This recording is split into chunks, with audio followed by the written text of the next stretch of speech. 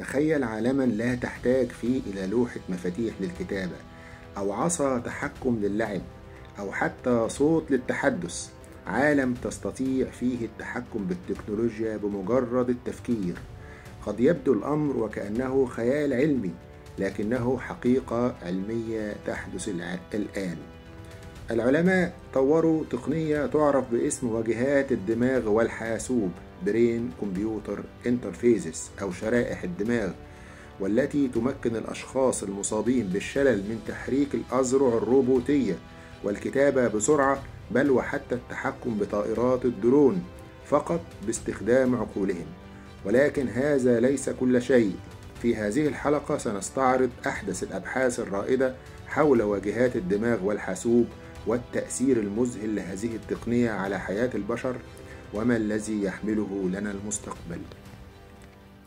بسم الله الرحمن الرحيم. أهلا بيكم. النهاردة هنشوف آخر إبداعات التكنولوجيا والكلام اللي لا ينتهي عن شرائح الدماغ والتطور الذي يحدث فيها وكيف سيتحكم الإنسان بمجرد التفكير في الآلات وكيف ستتحكم فيه الآلات فيما يبدو بعد ذلك. فالسؤال هل يمكننا التحكم بالأشياء بمجرد التفكير؟ فبفضل ما يعرف بواجهات الدماغ والكمبيوتر brain computer interfaces أو شرائح الدماغ الأمر أصبح حقيقة علمية ففي الحلقة دي هنستعرض أحدث الابتكارات في شرائح الدماغ والتقنيات التي تتيح للأشخاص المشلولين استعادة الحركة والتواصل وحتى لعب الألعاب الذهنية مثل التحكم في طائرات الدرون. كيف تعمل التقنية دي؟ وما الذي يحمله المستقبل؟ تابعوا الحلقة لتكتشفوا المزيد. ففي مواضيع الحلقة عندنا أول حاجة ما هي واجهات الدماغ والحاسوب؟ كيف تمكن شرائح الدماغ الأشخاص من التحكم في الأشياء بأفكارهم؟ هل يمكننا مستقبلا التحكم بالهواتف والأجهزة؟ عبر عقولنا التحديات الأخلاقية لواجهات الدماغ والحاسوب وهو ده الأهم. أول حاجة ما هي واجهات الدماغ والحاسوب بالضبط أو شرائح الدماغ؟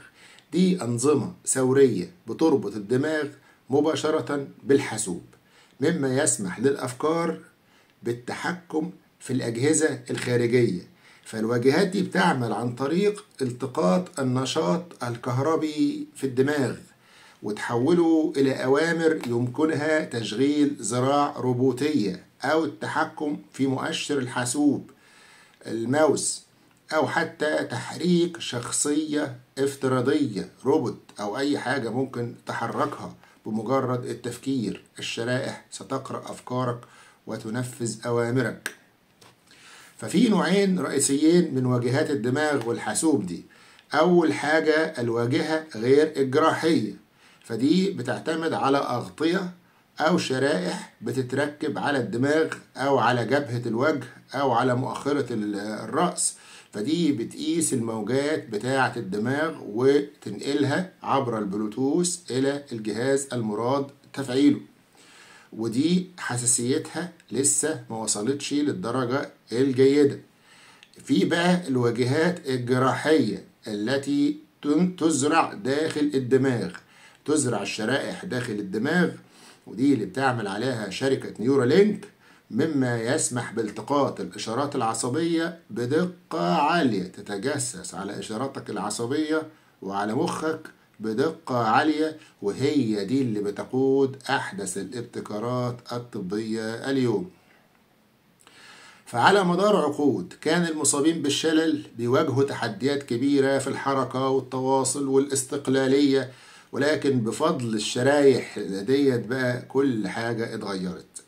فتخيل إنك أنت بعد ما كنت ما تقدرش تتكلم بقيت قادر على الكلام.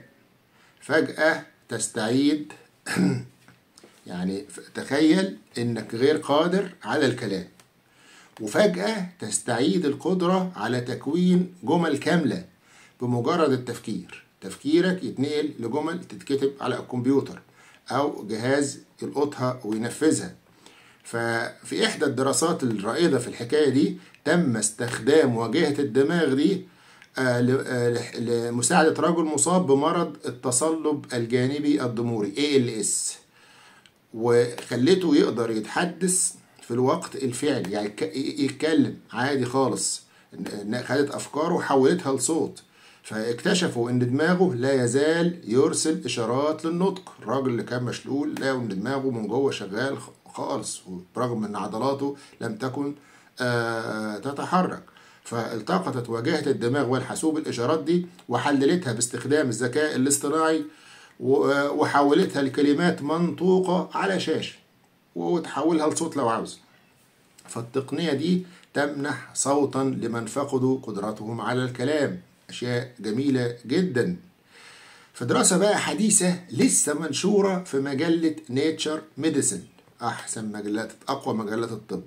تم تطوير واجهة دماغ حاسوب يعني شريحة يعني قادرة على التحكم في حركات الأصابع.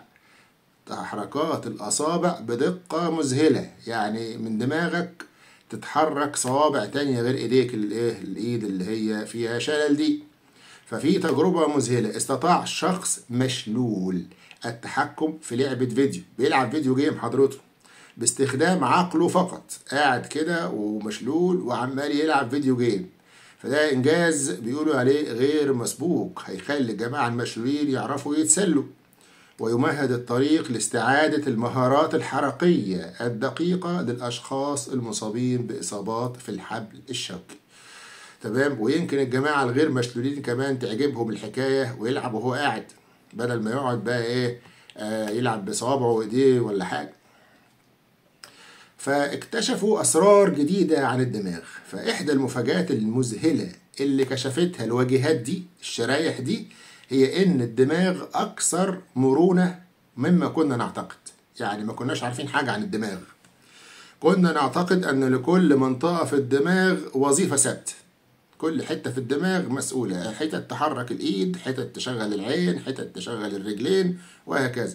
لكن ثبت بعد ما دخلنا وتجسسنا على المخ إن ده الخلايا العصبية اللي بتتحكم في الإيد ممكن أيضا تتحكم في أجزاء أخرى من الجسم والعملية داخلة في بعضها والمخ أكثر آه تقدم مما كان يعتقد علماء آه التشريح. فده بيغير فهمنا التقليدي لوظائف الدماغ. فالتحكم بقى في الألعاب بالعقل فدي ثورة جديدة في الترفيه. يعني هينتج تكنولوجيا ترفيه جديدة فبيقول لك بعيد عن المجال الطبي واجهات الدماغ والحاسوب دي بتفتح أبواب جديدة في عالم الترفيه في دراسة حديثة استطاع شخص مصاب بالشلل التحكم بطائره درون البحث بتاعنا ده النهارده قاعد بدرون بيلعب بالدرون ودرون افتراضية بس مرضوش يخلوها إيه درون حقيقية عشان ما يعورش حد. فباستخدام عقله فقط. فالعلماء بقى طوروا ال brain computer interface دي شريحة الدماغ دي عالية الدقة جدا. ممكن تفسر حركات الصوابع الصوابع المشلولة بس الحركات دي جوه المخ. فتسمح للي بيلعب ده بقيادة الدرون عبر مسار معقد يخليها تلف كده بقى وتحاور وتناور وت تعمل الحركات الصعبة اللي بيعملها العيال وهم قاعدين يلعبوا دول دون الحاجة إلى لمس أي جهاز تحكم. بيقول لك بقى إن ده لا يتعلق فقط بالترفيه فبالنسبة للأشخاص ذوي الإعاقة الحركية يمكن أن تمنحهم الألعاب الإلكترونية شعورا بالحرية والتواصل الاجتماعي والتمكين. ومع واجهات الدماغ والحاسوب دي شرايح الدماغ دي قد تصبح الألعاب أكثر شمولية مما يسمح للجميع بالمنافسة على قدم المساواة. تلاقي واحد مشلول بيلعب وبيكسب الجماعة اللي إيه السلام في الشطرنج في مش عارف إيه في في ألعاب يعني منافسة. فإلى أين نتجه الآن؟ مستقبل واجهات الدماغ والحاسوب لا حدود له. تخيل عالما حيث أول حاجة يمكن لشخص مصاب بشلل كامل استعادة الحركة الكاملة باستخدام هيكل خارجي يتحكم فيه العقل.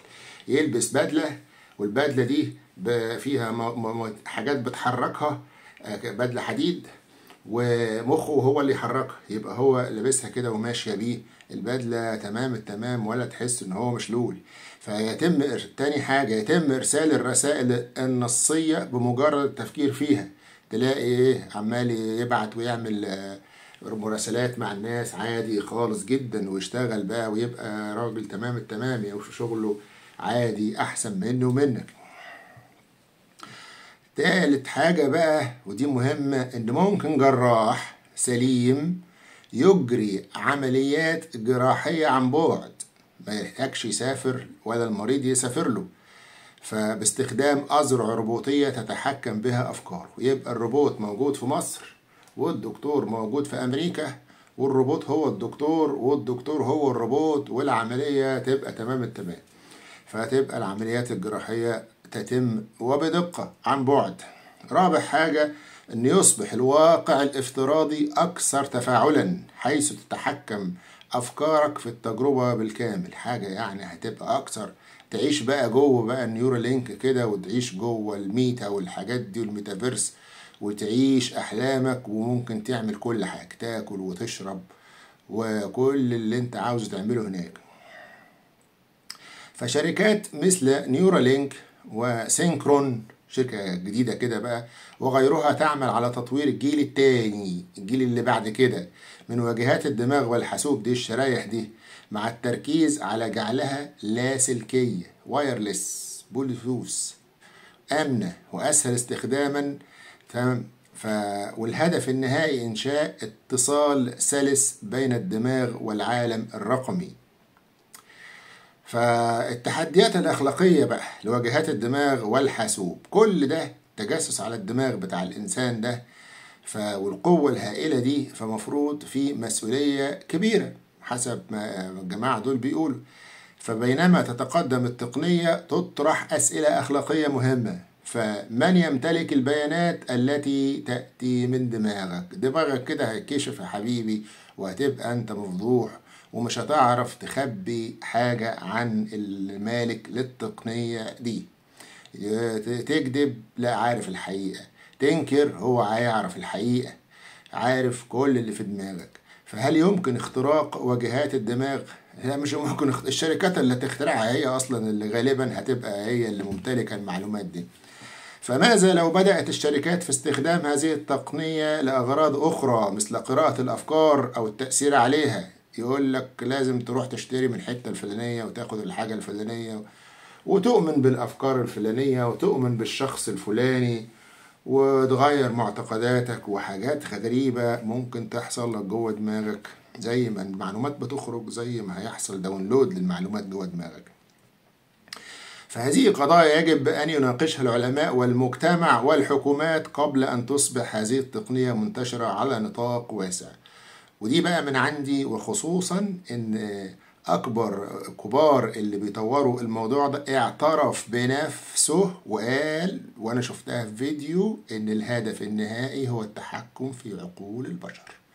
أنا مش عاوز أحط الفيديو ممكن يكون عليه حقوق ممكن يكون عليه مشاكل فلكن أنا شفت الفيديو ده وسمعته بأم وزني إن هو يقول إن الهدف النهائي هو ليس مساعدة المشلولين والعميان والطرشان والمش عارف والعيانين. لا ده الهدف السيطرة على البشر.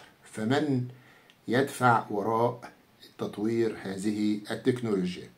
ده اللي عندنا في التطور اللي بيحصل في موضوع شرائح الدماغ. وإلى لقاء في حلقة قادمة وموضوع جديد. والسلام عليكم ورحمة الله وبركاته.